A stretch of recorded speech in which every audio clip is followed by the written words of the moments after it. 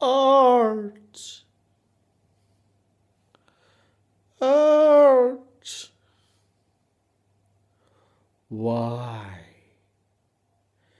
do you have to suffer that lot in a world? What is changing in a world? What is drifting apart? In a Trumpian world, art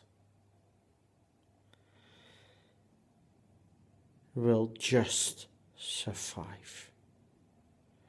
As always. As always, there will be an answer. An answer to prevail. Just to prevail. That will be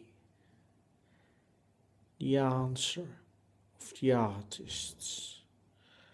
The really, really artists who exists prevail by a world which is gonna be dead mad.